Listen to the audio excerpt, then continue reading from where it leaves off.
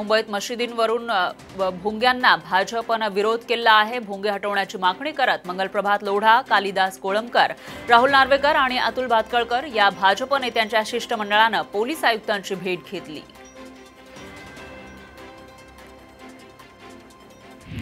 दोन हजार सोळा सालच्या जिल्हाधिकारी कार्यालय तोडफोड प्रकरणी आमदार नितेश राणे यांच्यासह त्यांच्या एक्केचाळीस कार्यकर्त्यांना दिलासा मिळालाय. याबाबत जिल्हा न्यायालयामध्ये खटला सुरू होता. यातील एक्केचाळीस जणांची निर्दोष मुक्तता करण्यात आली. गुढीपाडवा रामनवमी शोभायात्रेला परवानगी न दिल्यानं भाजप आमदार प्रसाद लाड यांनी मुंडन केलंय. सरकारचा निषेध करण्यासाठी प्रसाद लाड यांनी मुंडन केलं. केंद्रीय मंत्री नारायण राणेंना मोठा दिलासा मिळालाय. जुहू इथल्या आधीश बंगल्यावरील कारवाईचा आदेश मागे घेण्यात आलाय. महाधिवक्ता आशुतोष कुमकोनी यांनी मुंबई हायकोर्टामध्ये याबाबतची माहिती दिली आहे आधीश बंगल्यावरील तोडक कारवाईचा आदेश मागे घेत असल्याची माहिती त्यांनी दिली आहे उल्हासनगरमध्ये रात्रीच्या वेळी गाड्यांमधून पेट्रोलची चोरी करणारे चोर सीसीटीव्हीमध्ये कैद झाले. पेट्रोलचे दर गगनाला भिडल्यानं चोरट्यांनी आता दुचाकी गाड्या सोडून पेट्रोलकडे आपला मोर्चा वळवल्याचं पाहायला मिळत आहे उल्हासनगरच्या कॅम्प तीन मधील गणेश नगरमधील ही घटना आहे. औरंगाबादेत युवा सेनेचे कार्यकर्ते भिडले. संत एकनाथ मंदिरात युवा सेनेचा निश्चय मेळावा आयोजित करण्यात आला होता. यावेळी वरुण सरदेसाई हे कार्यक्रमातून निघून जाताच युवा सेना कार्यकर्त्यांचे दोन गटामध्ये वाद झाला.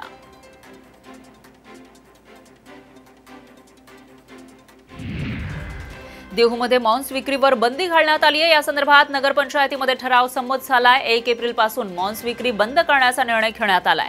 कोरोना काळात निर्बंध शिथिल झाल्यानंतर चिकन मटन आणि मासे विक्री सुरू झाली होती. वाहन चालकांकडून वारंवार वाहतूक नियमांचं उल्लंघन होत असल्यानं पुणे नाशिक महामार्गावर पोलिसांनी दंड वसुलीचं धडक धोरण हाती घेतलंय. मागील महिन्यामध्ये एक कोटी एकोणतीस लाखांच्या दंडाची विक्रमी वसुली करण्यात आली आहे. नाशिकच्या नांदगाव भूमी अभिलेख कार्यालयामध्ये भूमी अभिलेख अधीक्षकाला चाळीस हजारांची लाच घेताना रंगेहात पकडण्यात आलंय विलास दाणी असं लाच घेणाऱ्या अधीक्षकाचं नाव आहे. त्यांनी जमीन एन ए करण्यासाठी लाच मागितलेली. अमरावतीमध्ये आयपीएल क्रिकेट सामन्यांच्या दरम्यान सट्टा लावून लाखो रुपयांचा व्यवहार सुरू असल्याची माहिती मिळताच गुन्हे शाखेच्या पोलिसांनी छापा टाकत हा प्रकार उघडकीस आणला. या प्रकरणामध्ये दोघांना ताब्यात घेण्यात आला आहे. तीन लाख चौसष्ट हजार सहाशे रुपयांचा मुद्देमाल जप्त करण्यात आला आहे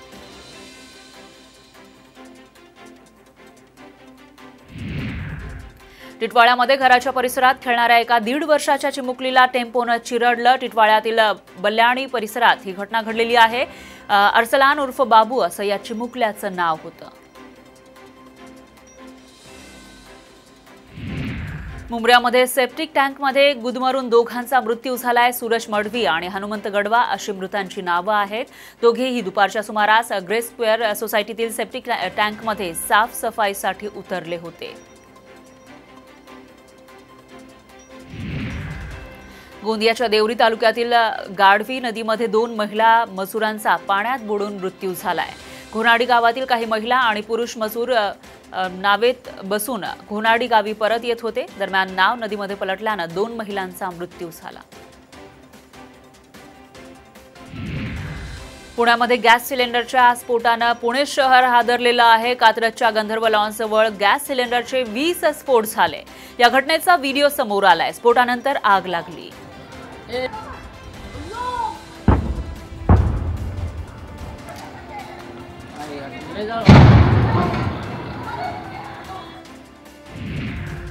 भारतीय नौदलाच्या त्रिकंड जहाजावर मंगळवारी संध्याकाळी आग लागली. वेळीच आगीवर नियंत्रण मिळवल्यानं मोठी दुर्घटना टळली आहे.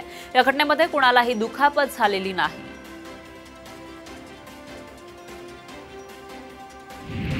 चंद्रपूर मुंबईतील सानपाडा विभागाकडे सिडको दुर्लक्ष करत असल्याचा आरोप माजी नगरसेवकांतर्फे करण्यात येतोय.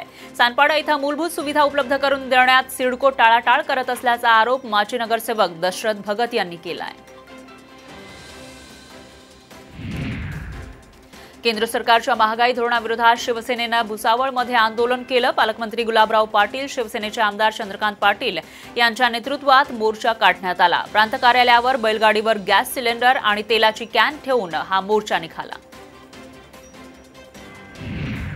शिक्षक सतत गैरहजर राहत असल्यानं जालना तालुक्यातल्या देवमूर्तीमधील पालकांनी शाळेला कुलूप ठोकलं.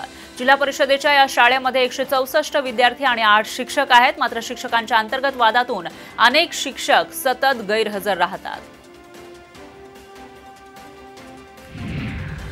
अहमदनगर शहरातील बाजारपेठेत व्यापारी महासंघानं उपोषण सुरू केलं. अवैधरित्या अतिक्रमण करणाऱ्या फेरीवाल्या आणि हातगाड्यांवर कारवाई करावी या मागणीसाठी हे उपोषण करण्यात आलं.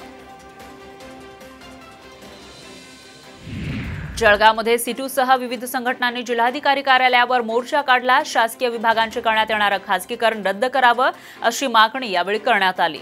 मागणी पूर्ण न झाल्यास तीव्र आंदोलनाचा इशारा देण्यात आला.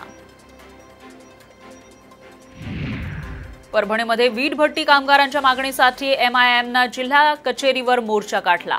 माती नसल्यानं जिल्ह्यातील बहुतांश वीट भट्ट्या बंद होण्याच्या मार्गावर आहे त्यामुळे जिल्हा प्रशासनानं बंद केलेल्या माती उत्खननाला परवानगी द्यावी अशी मागणी करण्यात आली.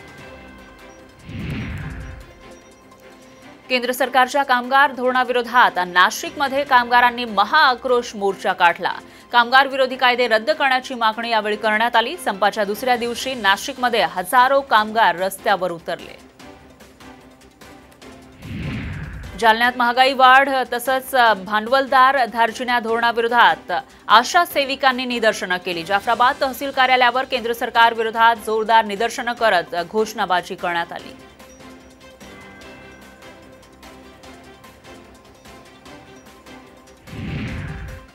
आता एक ब्रेकिंग न्यूज समोर येते. इयत्ता दहावी आणि बारावी बोर्डाच्या परीक्षेचे निकाल वेळेत लागावे यासाठी शिक्षण संघटना समवेत बैठक होणार आहे. शालेय शिक्षण मंत्री वर्षा गायकवाड यांनी दोन दिवसामध्ये याबाबत बैठक बोलावली आहे. बोर्डाचे निकाल वेळेत लावण्यासाठी सूचना दिली जाणार आहे. येत्या शैक्षणिक वर्षात औरंगाबाद जिल्ह्यातील सर्व शाळांमध्ये सीसीटीव्ही आवश्यक आहे. सर्व शाळांनी सीसीटीव्ही बसवून शिक्षण विभागाला अहवाल सादर करण्याचे आदेश औरंगाबादच्या शिक्षण विभागानं दिले. तर शाळेमध्ये विद्यार्थिनींवर लैंगिक अत्याचाराबाबत अलीकडे घडलेल्या घटनेच्या पार्श्वभूमीवर हा निर्णय घेण्यात आलाय. शिक्षक सतत गैरहजर राहत असल्यानं जालना तालुक्यातल्या देवमूर्तीमधील पालकांनी शाळेला कुलूप ठोकलं.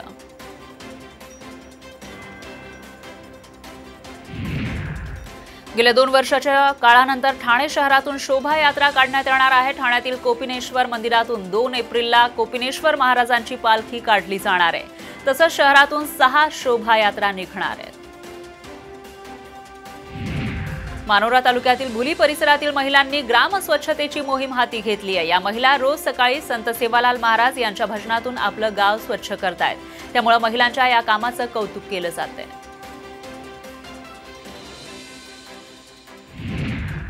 लातूरच्या कृषी उत्पन्न बाजार समितीमध्ये सध्या नवीन हरभऱ्याची आवक वाढलेली आहे. बाजारामध्ये दररोज पंधरा ते वीस हजार क्विंटल हरभऱ्याची आवक होतीये.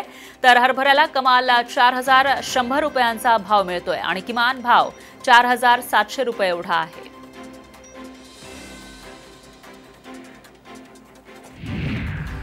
व्हॉट्सअप आता लवकरच नवीन फीचर आणणार आहे ज्यामध्ये काही मिनिटात संपूर्ण सिनेमा ट्रान्सफर करणं शक्य होणार आहे.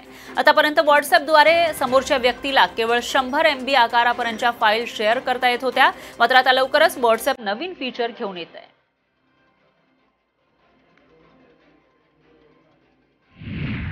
एक हरणाचा व्हिडिओ सोशल मीडियावर मोठ्या प्रमाणात व्हायरल होतोय. या व्हिडिओमध्ये हरणांकडून एका बारवर हल्ला करण्यात आल्याचं दिसतंय.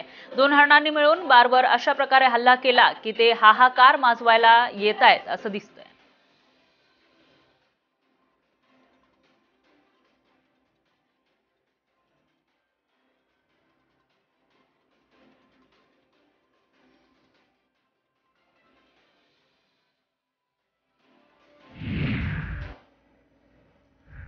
देशात गेल्या चोवीस तासात कोरोना विषाणूचे एक हजार दोनशे एकोणसाठ नवे रुग्ण समोर आले तर पस्तीस जणांचा मृत्यू झालाय. तसंच देशातील सक्रिय रुग्णांची संख्या पंधरा हजार तीनशे अठ्ठ्याहत्तर इतकी आहे. पश्चिम बंगालच्या मुख्यमंत्री ममता बॅनर्जी यांनी पुन्हा एकदा भाजप विरोधात मोड बांधण्यास सुरुवात केली आहे. देशातील बिगर भाजप शासित राज्यातील मुख्यमंत्र्यांना आणि प्रमुख नेत्यांना बॅनर्जी यांनी पत्र लिहिलंय. देशातील लोकशाही धोक्यात असल्याचं या पत्रात त्यांनी लिहिलंय.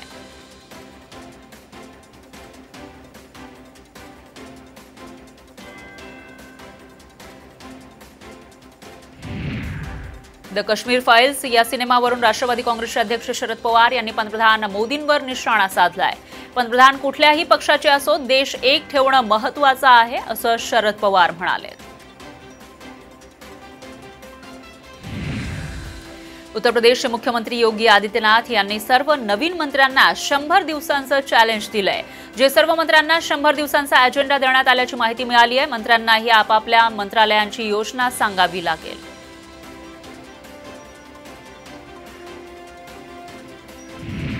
केंद्रातील नरेंद्र मोदी सरकारनं नेहरू संग्रहालयाचं नाव बदलण्याचा निर्णय घेतलेला आहे. आता हे संग्रहालय पीएम म्युझियम नावानं ओळखलं जाईल. इथं देशातील सर्व चौदा माजी पंतप्रधानांच्या आठवणींचं जतन केलं जाणार आहे. मोदी सरकार देशातील शेतकऱ्यांसाठी एक सुपर ॲप आणण्याच्या तयारीत आहे. शेतकऱ्यांना त्यांचं पीक उत्पादन कापणीनंतरच व्यवस्थापन तसंच हवामान आणि बाजारातील अपडेट्स या संदर्भातील सर्व सुविधा एकाच जागी उपलब्ध करून देणं हा यामागचा उद्देश आहे.